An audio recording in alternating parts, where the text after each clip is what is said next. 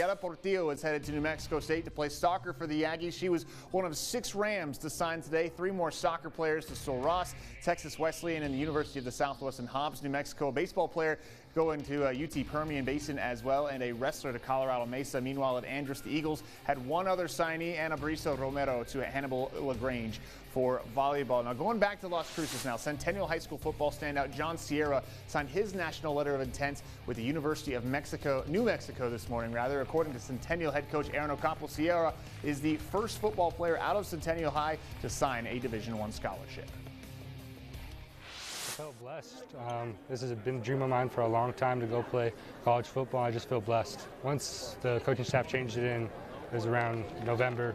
Coach Bronco, a really good coaching staff, and I feel comfortable playing for him. I know they're going to win. So Sierra is headed to New Mexico. Centennial also had football standouts. Daniel Hernandez signed to Eastern New Mexico and Jesus Barraza signed with Sul Ross. Now UTRGV has been rating El Paso for some top players to help build the Vaqueros' first football team in program history, school history rather, in time for the 2025 season. Pebble Hill star Amari Welch and Eastlake's Roman Hernandez will be a part of the first UTRGV football recruiting class putting pen to paper today to join the Vaqueros. Uh, it feels good. It feels super special to be a part of something new that I would just be able to create and help build. It's like multi-million dollar facilities, new facilities, new fields being built. Um, they're going to be really heavy on us with education especially, so I'm ready for that. I realized just that RG, RGV was like the best for me. You know, new program started off, right?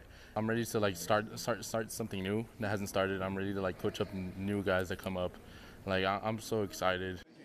And other athletes from those schools signing today, Eastlake baseball player Elias Rivera to Mesa Community College, a whole slew of athletes signing at Pebble Hills, Juan Hernandez to Tarleton State for wrestling, Justine Sierra with Sul Ross softball, Talina Mendez with Trinidad State softball, Renee Leon with Eastern New Mexico soccer, and four other football players to Division II programs, Ghazi El Aaron Ortega, Michael Parker, and Tyrese White. For a full look at our local signing day coverage, head to our website, ktsm.com. and